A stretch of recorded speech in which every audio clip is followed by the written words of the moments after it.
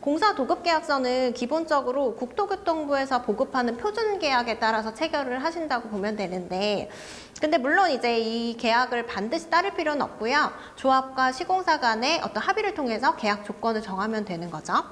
이제 공사 도급 계약의 핵심은 공사비라고 보시면 돼요. 그래서 보통 이제 시공사가 입찰을 하고 그리고 공사 도급 계약까지 체결하기까지는 시간이 상당히 많이 걸리기 때문에 이제 그 조합 입장에서는 이 공사비 줄일 수 있는 시점이 몇 가지가 있습니다.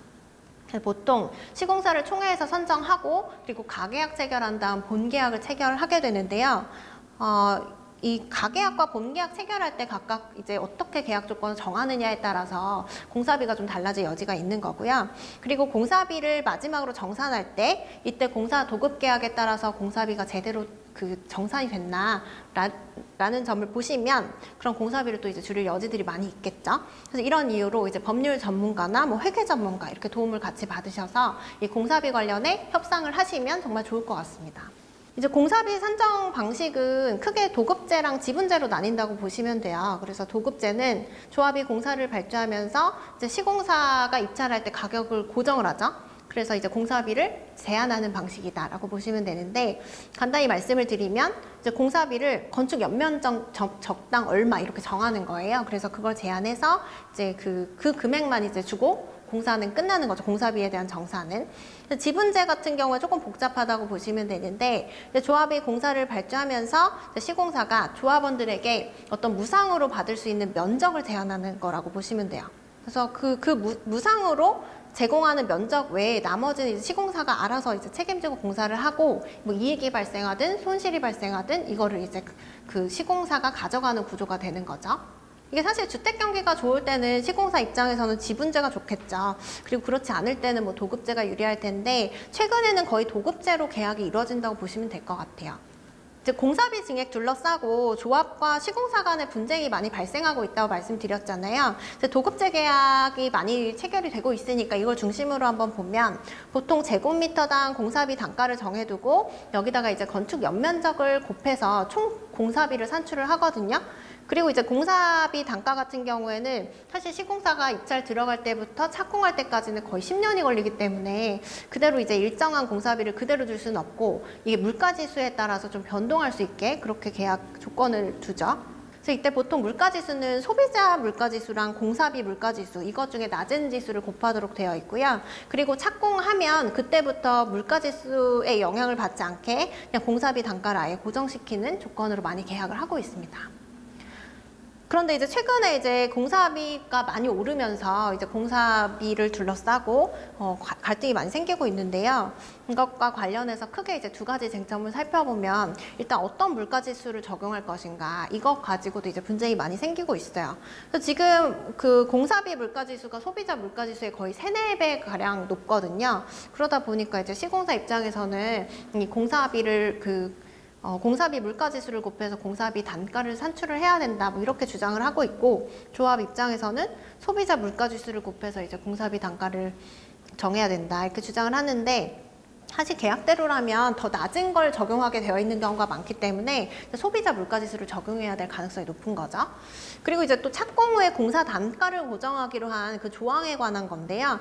이게 최근에 이제 국토부가 유권 해석을 내리면서 사실 이제 그 실무상으로 더 혼란스러워진 부분이 있어요. 그래서 공사 도급 계약에 물가 변동으로 인한 계약 금액에 조정을 하지 않는다 이런 부분이 있, 있 있더라도 이제 국토부에서는 건설산업기본법에 따르면 당사자 일방에게 현저하게 불공정한 뭐 조항 같은 경우에 무효로 할 수가 있기 때문에 뭐 이런 조항 무효로 할, 수, 할 수가 있다라는 취지의 이제 유권 해석을 내렸는데 근데 이게 좀 타당하지가 않은 게 현저하게 불공정하다 이 부분에 관한 해석이 매우 엄격해야 되는 거죠.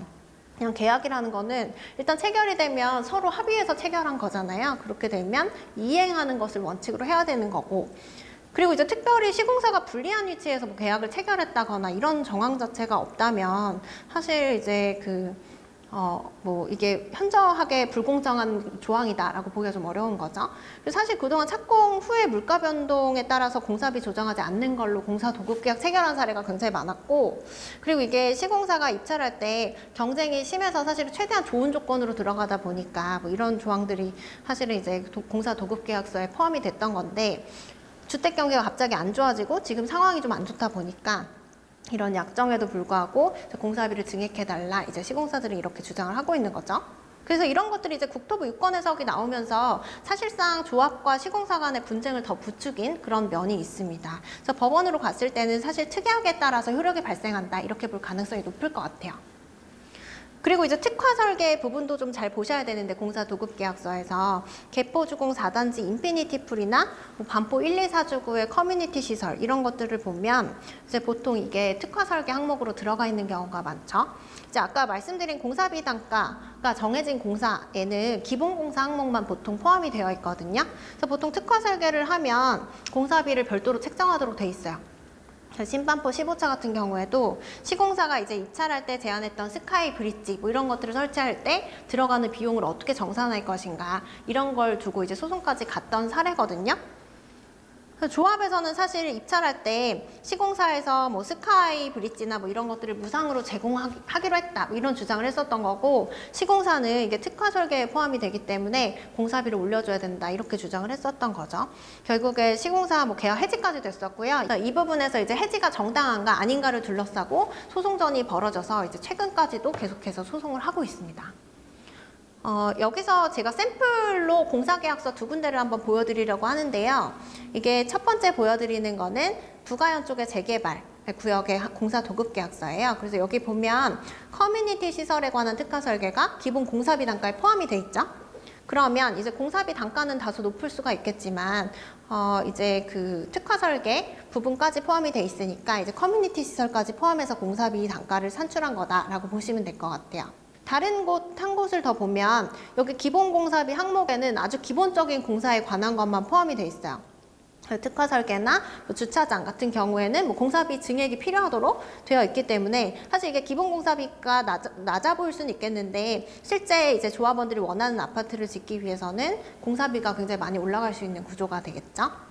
이제 특화 설계 부분만 이렇게 그 일부 살펴보더라도 사실 공사 도급 계약서 상에는 정말 많은 조항들이 있고 그 조항들을 어떻게 정하는지에 따라서 공사비가 사실 수십억씩 왔다 갔다 할 수가 있거든요. 그래서 공사 도급 계약 관련해서는 미리미리 전문가의 좀 도움을 받으시면 이제 공사비를 줄일 여지가 많다는 거 숙지하시고 어, 하시면 될 것 같습니다.